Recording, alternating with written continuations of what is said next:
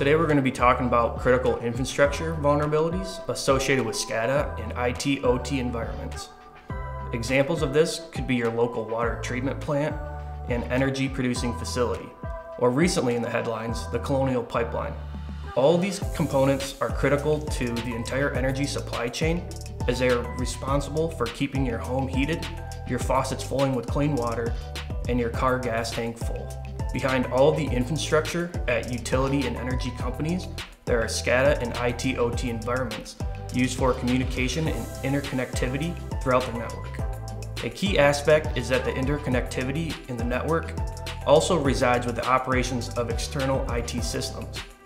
And where a major vulnerability lies is the communication between the IT systems and the SCADA assets.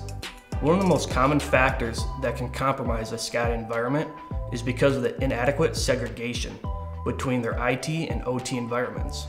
Without segregation between the two, unintentionally you could allow a host connected to the IT network to reach a device on your SCADA network, allowing for malware or ransomware on an IT system to spread to the OT environment.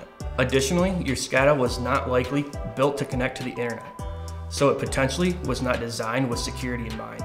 I state this because of the potential use of the same protocols used on the initial setup could still be being used today. An example would be the Modbus protocol, which uses clear text communication, which in itself is a red flag for internal security, as this leaves you susceptible to attackers listening to your data across your network.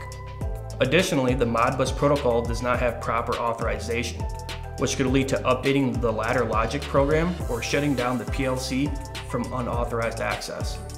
A few recommendations for locking down the security posture of your organization would be to review existing segmentation and preventative measures. Utilizing network monitoring across internal OT networks to provide insight on your communication between the IT and OT connections.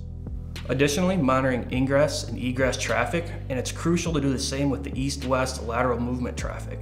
Ensure backups are being performed across the Crown Jewel OT systems, and ensure there is an offline copy in the event that an online system becomes encrypted from ransomware.